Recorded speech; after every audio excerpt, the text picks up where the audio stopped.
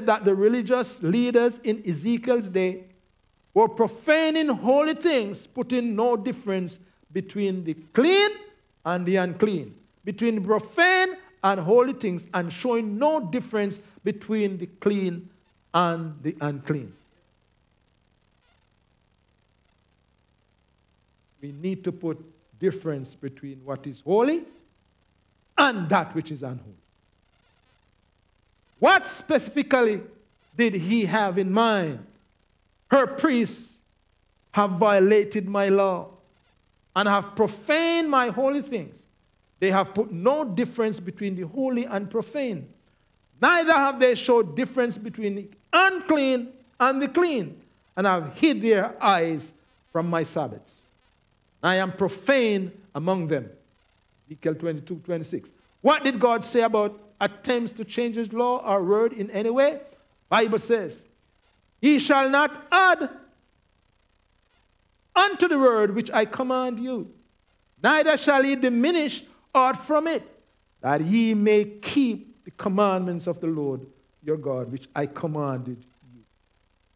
All God requires of us is simple obedience. Simple obedience. Every word of God is pure. He is a shield unto them that put their trust in him. And thou not, and add thou not unto this, his words, lest he reprove thee and thou be found a liar. And no liar is going to go to heaven. Heaven and earth will sooner pass away than one tittle of the law to fail. Why? Because it is easier for heaven earth to pass than one tittle of the law to, tittle of the law to fail. Popular churches are embarrassed. When we ask the papacy, how could you change God's holy law? They are embarrassed. And the reason why they are embarrassed because they have no biblical clue. They can't find the reason from the word of, from the Bible. But their response is even more embarrassing to the Protestants. For you will tell me Saturday was Jewish Sabbath. But that the Christian Sabbath has been changed to Sunday. Change. But why whom? By whom? Who has authority to change and explain? Express commandments of Almighty God. When God has spoke and said, Thou shalt keep holy the Sabbath day. Well, how God protect his holy day. I'm going to show you. Sunday is they call Mother's Day and Father's Day. That's what they said. This was instituted. Not by the not by the not from the word of God. So then Monday we have Labor Day. We have President's Day. We have all kind of day, holiday. We have Martin Luther King birthday. Tuesdays there is voting. Wednesday, you have Ash Wednesday. Thursday, you have Thanksgiving. Friday is the Muslim holiday. And let me tell you why they do choose Friday as a holiday. When Muhammad in 622 AD established the Muslims, he wanted to find a day. So he went to Saturday. The Jews have already have it. He went to Sunday. The Christian era was at that time have it. So he chose Friday. But, and then also Friday, they call it the so called Good Friday. No, Friday is good. But on Saturday, God protected his Sabbath day. clear so there's no holiday established on the Sabbath. Unless we find some days, Christmas Day fall on it, but no holiday, no special day has been established for the Sabbath. So God protected his Sabbath from the world, and sometimes us as believers, Seventh day Adventists, violated it. Preaching the truth. So, how the mark is received. Where is the beast mark placed on people? Bible says, and he calls it all, both small and great, rich and poor, free and bond, to receive a mark in their right hand or in their foreheads. In other words, the forehead is the seat of decision. This is where you make all your decisions. This is where you decide for or against. And when you decide against, the hand is what you use to work uh, to violate God's law. So that's where you re- receive it in your hand and in your forehead. So it's not that something going to be stamped on your forehead, but in the mind. The papacy claim claims that it changed the day of worship from Saturday to Sunday. And that Sunday, our Sunday keeping, it's its mark of authority and power. God's mark or sign of power is Sabbath and Sabbath keeping. And the, and the basis, sign or mark of power is Sunday and Sunday keeping. Which of these marks do you decide to have? You desire to have? Is it the mark of the beast or the, are the seal of God. Therefore, God does not have a mark, He has a seal. Are you with me? God has a seal, but the beasts have a mark. So, do people now observe Sunday as a holy day have the mark of the beast? The answer is no. No, you don't have it. Not yet and that no man might buy or sell and that's or sell save he that had the mark or the name of the beast or the number of his name it's gonna come a time when you're gonna be forced to either stand up for god or you're gonna receive its mark and i and i pray and hope that we start standing up for God now. Because when the time comes and the boss said to you, if you don't work tomorrow, Saturday, you don't have a job Monday morning. It's going to come to that. You don't come tomorrow, you can don't come back. So you have to decide because in your mind, there's a car note to pay. There's this daughter to send that you have in college. There's a mortgage to pay. So you're going to think, how am I going to survive? But you always remember, the Lord will always provide for his people. If you stand up for him, he will stand up for you, my friends. And you have to remember, it is those who have the privileges to buy and sell will receive the plagues. Amen?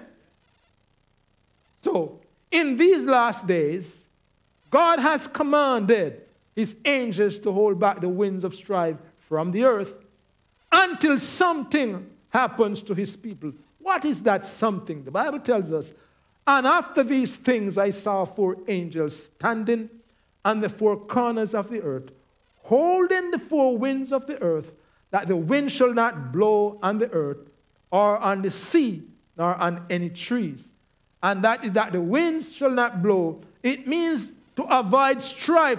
God is holding back the strife, and that is why we will never experience a World War III.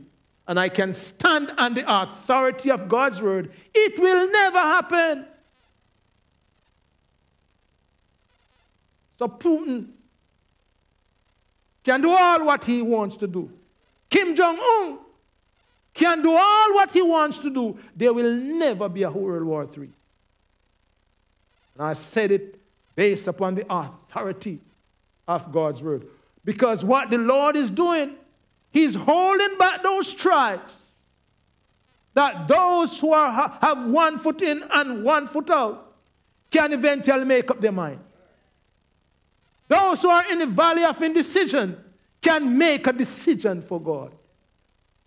So that you can receive His seal in your mind. And I saw another angel ascending from the east, having the seal of the living God.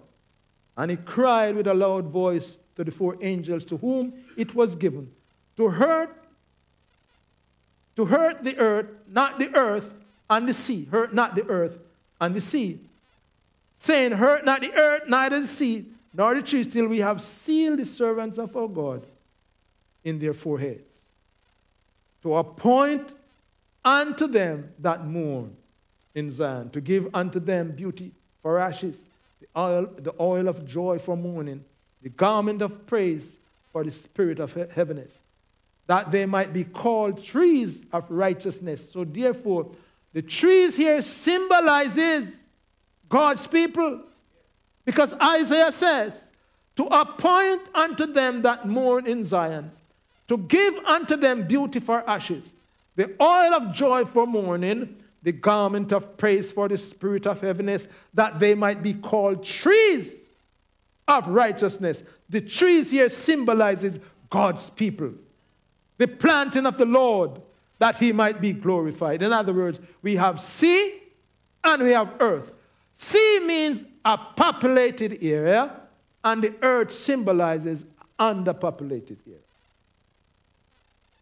So the angels are holding back the wind of strife. Who will receive God's wrath in the last days?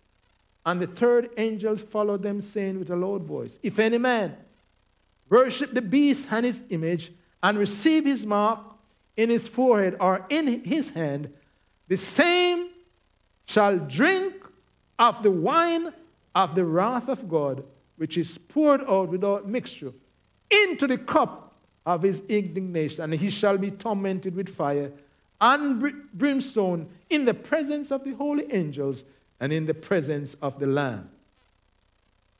The test of loyalty. How does God decide who it is we serve?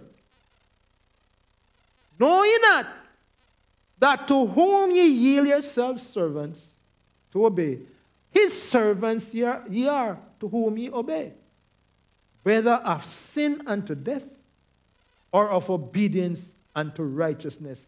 And I hope you obey the servants of God, the serv- God, and become his servant to obedience unto righteousness. How does God count me if I am neutral? See this fellow here? He's not, the angel of God is trying to encourage him on his side, while the devil and his angels on the other side. There was a story about a man. He said, I'm sitting on this fence. I'm not going to go on God's side. I'm not going to go on the devil's side. You know what the devil says? Let him stay there because I own the fence. there is no neutrality. It's either you be on God's side or on the Lord's side. The Lord will not accept 50% of you. While the devil will accept 50% because he know the other 50. Because the Lord does not want it, he will get it. That's how he is. He doesn't care about you keeping all 10 commandments. All he wants you to do is to break one. He that is not with me is against me, and he that gathereth not with me scattereth abroad. According to Revelation chapter 13, John saw another beast rise up out of the earth about the time that the beast of verse 1 went into captivity. The Bible says, He that leadeth into captivity, captivity shall go into captivity. He that killeth with the sword must be killed with the sword. Here is the patience of the faith of the saints. Now, in 1798, or during the time of the French Revolution, Pope Pius VI did not support the emperor. And so, because of that, he sent his brother, And arrested the Pope and took him to France. And he died in exile. So the Bible said, I beheld and saw another beast. Because it, during, it is that time that the, the, that the Catholic Church got its wound. It was that time that the head was wounded. It was inactive. Bible gives us some description. Because it was inactive and it had no power, it means that it was wounded, but it was not dead. It was still wounded, but still alive. And in Revelation chapter 13 and verse 12, 11 says, And I beheld another beast coming up out of the earth. And it had two horns like a lamb, and he spake as a dragon. Who do you think this beast represents? During, it was at that time when the land beast, the sea beast, was being put down, then we have the land beast coming up. And that land beast is none other than the United States of America. He has two horns, and he spake as a dragon. And these two horns is religion and politics. Religion and politics. And look what is going on in the house right now. Watch what is going on. What is going on right now? There's a section there that claim that they're religious. They're a part of the Southern Baptists. As a matter of fact, I'm going to tell you this. In 2016, Donald Trump got 72% of the evangelical votes. In 2020, he got about 85. So a lot of the evangel claim to be evangelical are our leaders in the House and Senate. So, the beast, the lamb like beast, has its two horns. But soon and very soon, it will speak. It will speak. So, what two tragic things that this second beast cause people to do? Say, listen, worship the first beast and to receive a mark in their hand or forehead. And he exercised all the power of the first beast before him, and caused the earth and them which dwell therein to worship before the first beast, whose deadly wound was healed. And he caused all, both small and great, rich and poor, free and bond, to receive a mark in their hand or in their forehead. How will the second beast convince people that they should listen to him? Bible says, and he doeth great wonders so that he maketh fire come down from heaven on the earth in the sight of men. Talking about that, if you remember quite well, the day of Pentecost, the Bible tells us that when they were up in the, the um, in the upper room, the Holy Spirit descended upon them like fire, the cloves of fire. And it was there that they received the Holy Ghost and they were all able to go out and preach. And that day, the Bible says that over 3,000 souls was, say, was added to the church. So, in this instance, that they make it fire come down from heaven, it's not a literal fire. But the false prophets Protestantism, apostate Protestantism, will try to use the Holy Spirit as a means of convincing you. In other words, for example, they will tell you that tonight they're going to be healing, and people will come all from all walks of life, come with walking stick, and they will take that stick and throw it away. They come with wheelchairs, say, get up out. Because what happened? They are trying to use the Holy Spirit as a means. But the Bible says that to the law and to the testimonies. If they speak not according to this word, it's because there is no light in them. Let's not get carried away by the antics.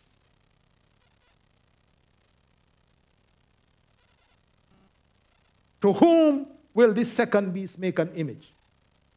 And deceiveth them that dwell on the earth by the means of those miracles which they had power to do in the sight of the beast, saying to them that dwell on the earth that they should make an image to the beast which had the wound by a sword and did live. Now, and the beast which I saw was like unto a leopard, and his feet were as the feet of a bear and his mouth as the mouth of a lion. And the dragon gave him his power and his seat and great authority. The dragon here symbolizes civil authority. The beast represents the religious power. So we have the dragon, the beast, and the false prophet represents apostate Protestantism These are the three factors. So the Bible says that, listen, this beast that comes up in Revelation, notice what happened. In Daniel chapter 2, also Daniel chapter 7, there was a symbol there. In Daniel chapter 7, we had four beasts. We had a lion, had a bear, had a leopard, and also a nondescript beast. And so that nondescript beast represents the, the beast that is in Revelation chapter 2, 13. But look what happened now. The beast that is in Revelation chapter 13 have some characteristics from the beast, the, the other three beasts that is in, Revel, in Daniel chapter 7. So he has a part of a lion, a part of a bear, and a part of a leopard. So now look at, look at these kingdom now. So these are not just the, the, the, the, the actual lion, but he is saying that there are some characteristics of these other three beasts that will be found in this beast of Revelation chapter 13. So, what are the characteristics? Babylon. What does Babylon consist of? Babylon, they are superstitious and idolatries. Then when we come to Media and Persia, Media and Persia is noticed for commerce, business and commerce. It was the Medes and the Persians who established the postal system. Go to history. So, business and commerce. And then when we come to Greece, Greece is philosophy and sports. So now these are the characteristics that is found. Even today, we have business Wall Street, sports, philosophy, and sports. It was Greece who, who who established the, the, the sports Olympics. They institute, as a matter of fact, I'm going to tell you who. It was Alexander the Great who established the Olympics and he named it after his mother. Mother's name was Olympia. So he called it Olympics because he loved his mother dearly. So he names the sport after his mother. Then when we come now, we come now to this one have seven heads and ten horns, symbolizing the ten Roman Empire. And I saw one of his head as it were wounded to death, and his deadly wound was healed, and all the world wondered after the beast. When was this deadly wound healed? When was the deadly wound healed? So we find in 538 AD, the, the power or the papacy was established. In 1798, he got this wound. But in 1929, Benedicto Mussolini gave the Catholic Church. Everyone thought that Catholicism was dead. But in 1929, the deadly wound was healed by Benedicto Mussolini.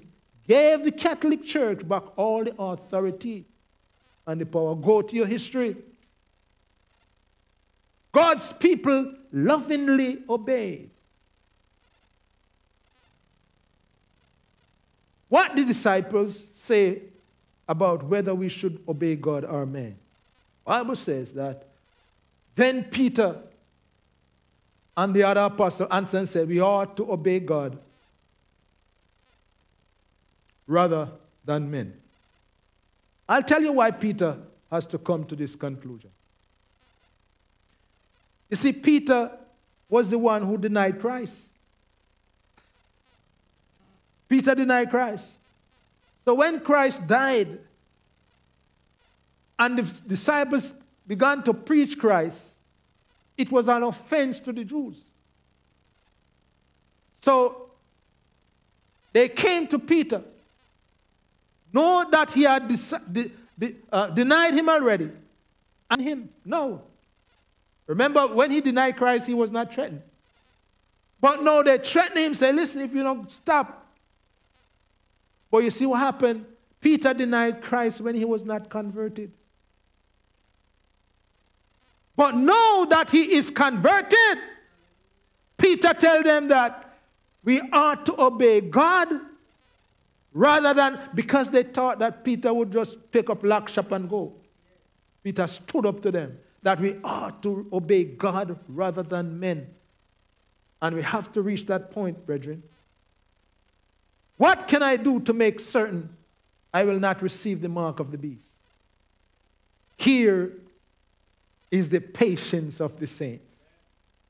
Here are they that keep the commandments of God and the faith of Jesus. And I said, Amen. God's last warning message to us, God's last message to the world, in, found in Revelation chapter 14, 6 to 12, includes worship the Creator Avoid receiving the mark of the beast. It is now clear to you that a person who receives the mark of the beast is lost. Are they lost because they receive a mark? Or are they lost because they are rebellious, refuse to change and accept God, Jesus' offer? Because they refuse. They're rebellious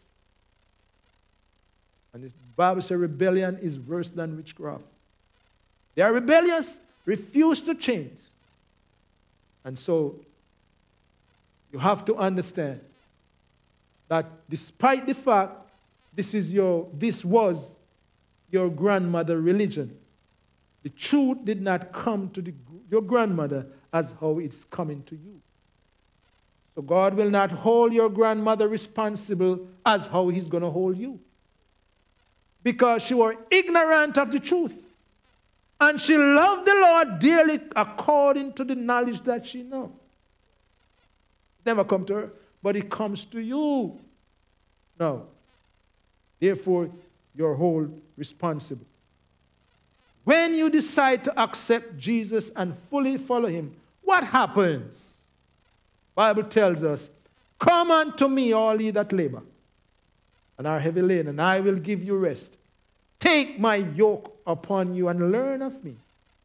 For I am meek and lonely in heart, and ye shall find rest unto your souls. For my yoke is easy, and my burden is light.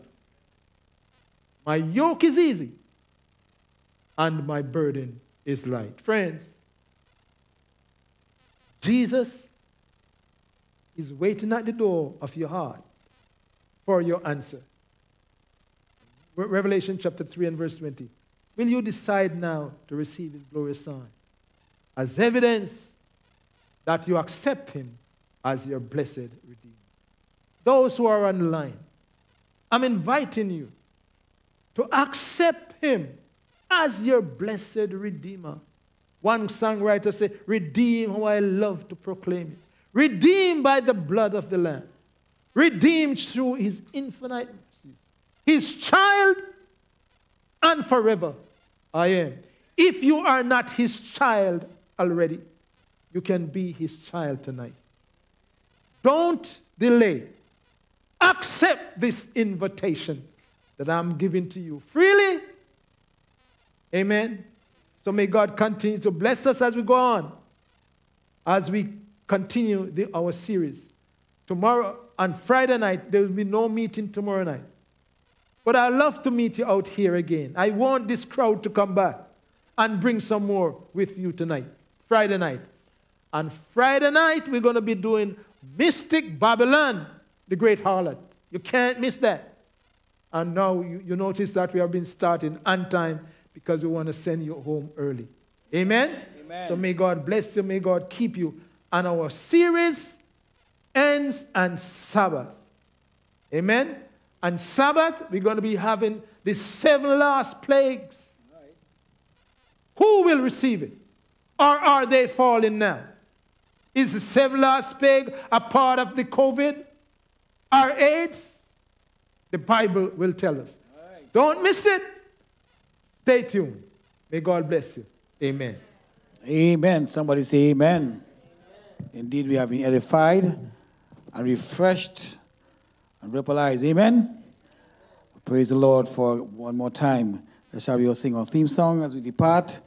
And don't forget to be back here on Friday. Tell someone, share the link as well. Trim your lamps in Jesus' name. Praise the Lord. Let's all stand together. Let every lamp be burning bright, the dark is always nearing the darkest hour of looked on night before the Lord's appearing. Then trim your lamps, my brethren dear, then trim your lamps with godly fear. The Master's coming, it near, let every lamp be burning. So trim your lamps, my brethren dear, then trim your lamps with godly fear. The Master's coming, draw it now, let every lamp be burning. Heavenly Father, we thank you again for thy word. We thank you for using thy manservant one more time again to present us thy message. Be with us now as we depart to our homes. Bless us and bring us Friday night one more time to listen to your word and to understand you as you want us to guide us now, we pray in your holy name. Amen and amen. So trim your lamps, my brethren dear, then trim your lamps with godly fear. The Master's coming, draw it near, let every lamp be burned.